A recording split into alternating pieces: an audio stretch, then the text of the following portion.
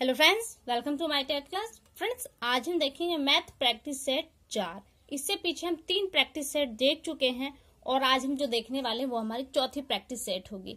जिन लोगों ने नहीं देखा तो डिस्क्रिप्शन में उसका लिंक मिल जाएगा, आप लोग देख लीजिएगा। देखिए फ्रेंड्स मैथ के अगर सिलेबस के अकॉर्डिंग कहूँ तो सारे टॉपिक हमारे कंप्लीट हो चुके हैं। मात्र एक टॉपिक छूटा है, जो है हमारा आंकड़ों का प्रस्तुतिकरण और निरूपण। इसे भी हम कंप्लीट कर लेंगे। जो टॉपिक आपके सिलेबस में दिए गए हैं, उनके अलावा भी कुछ ऐसे टॉपिक्स होते हैं जो इनसे अटैच होते हैं, लेकिन वो नाम उनका नहीं दिया गया। तो ऐसे टॉपिक्स भी हम बीच बीच में कंप्लीट करते चलेंगे और अपना अभ्यास यानी कि प्रैक्टिस सेट भी कंप्लीट करते चलेंगे। तो आइए स्टार्ट करते हैं अपनी वीडियो और देखते हैं प्रश्नों को।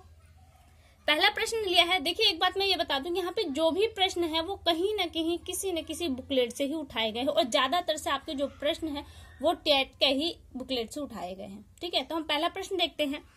तीन लड़कों की औसत आयु पैंतीस वर्ष है तथा उनकी आयु का जो अनुपात है, वो तीन संबंधे, पाँच संबंधे, सात है। सबसे छोटे लड़के की आयु क्या है? अब देखिए, संबंध का सवाल तो आपके में आ गया, टीटी में। लेकिन अनुपात, समानुपात का अगर हम देखें तो आपके में सिलेबस के रूप में नहीं दिया है तो ऐसे सवाल भी आएँगे तो इसलिए ऐसे सवाल को सॉल्व करना भी आपके लिए ज़रूरी है। तो देखिए, इस तरह के सवालों को सॉल्व कैसे करेंगे? हमको ये तो पता है कि औसत कैसे निकालते हैं। कुल संख्याओं का योग बटे में संख्याओं की संख्या, यानी कि जो अंक दिए हैं तो उनकी कितनी संख्या है। तो लेकिन यहाँ पे तो औसत पूछा नहीं, आपको ऑलरेडी औसत दिया हुआ है।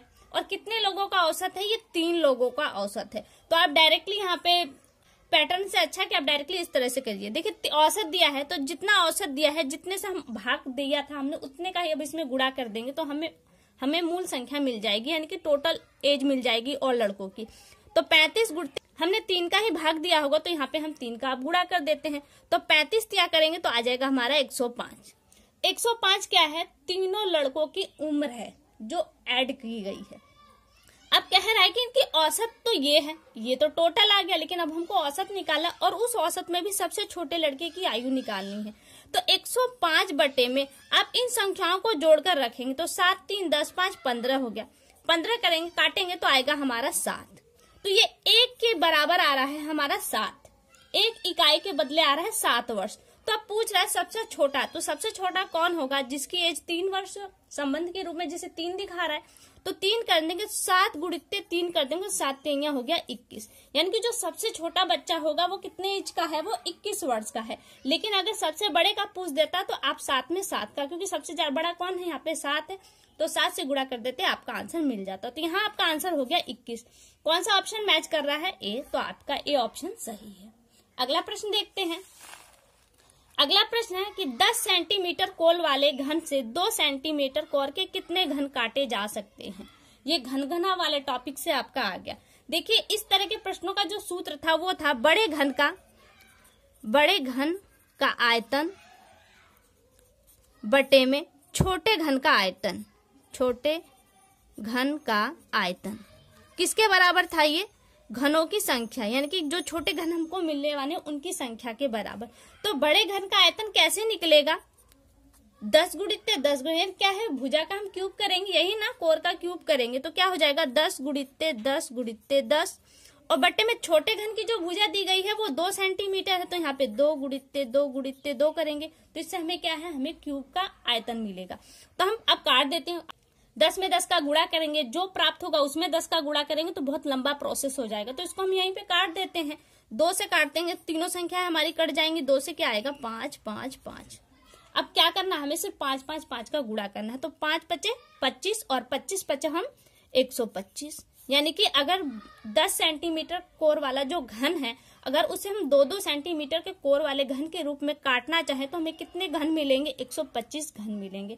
तो आंसर कौन सा आपका मैच कर रहा है? देखिए, सी आंसर मैच कर रहा है तो ऑप्शन सी आपका यहाँ पे सही हो गया 125 घन।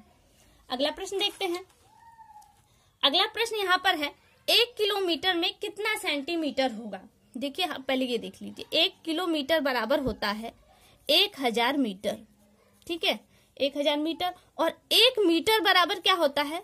सौ सेंटीमीटर। तो हमसे पूछा क्या है?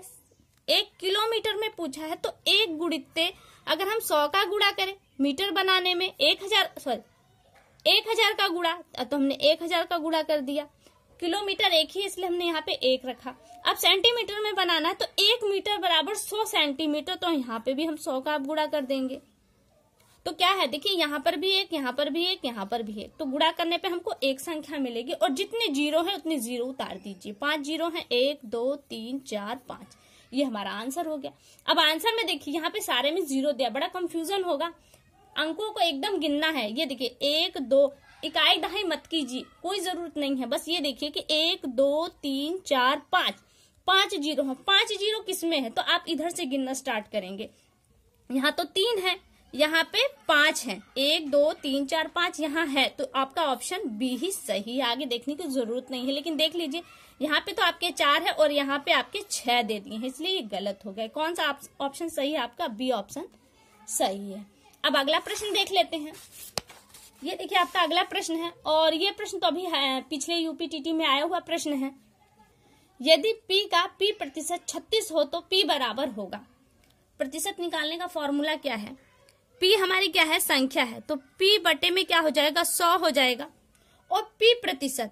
तो जितने प्रतिशत का पूछता है, उतने का हम गुणा करते हैं। तो कितने प्रतिशत का पूछ रहा है? P प्रतिशत का। और आया क्या है? छत्तीस। आ भी गया है। तो ये आपका पछांतर यानी सवाल बन गया। अब इस सवाल को आपको सॉल्व करना है। पछांतर करेंगे तो क्या होगा?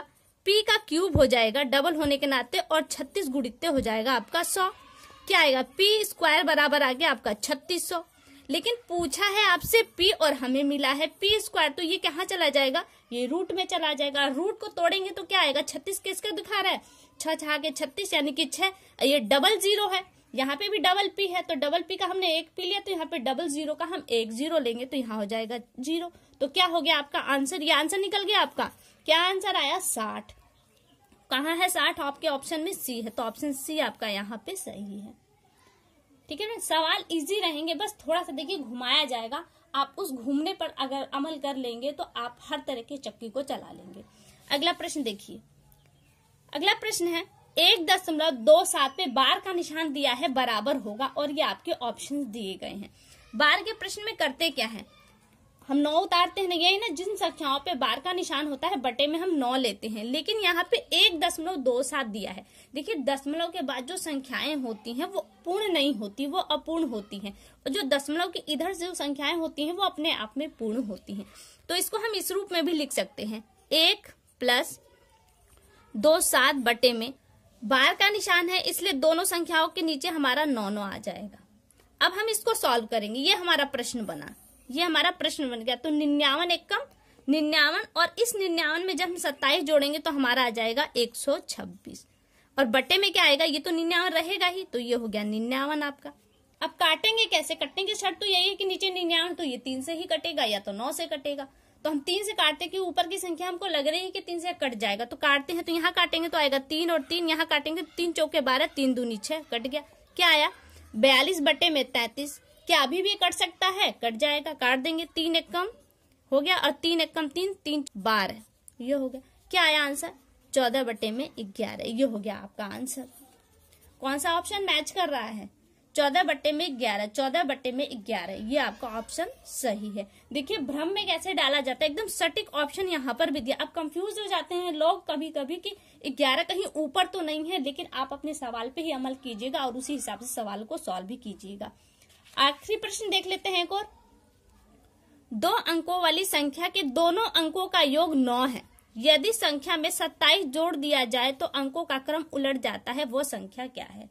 यहाँ पे आपको फॉर्मूले से नहीं चलना, आपको दिमाग उधर से नहीं लगाना। आप क्या कहते हैं? दो संख्याओं का योग है, नौ है। तो यहाँ पे जो संख्याएँ दी गई हैं दोनों संख्याओं का योग देखिए, नौ हो रहा है। तो हमने देखा कि सबका योग नौ हो रहा है। अगर यहाँ से किसी का भी योग नौ नौ होता तो आपका ऑप्शन यहीं से कट जाता।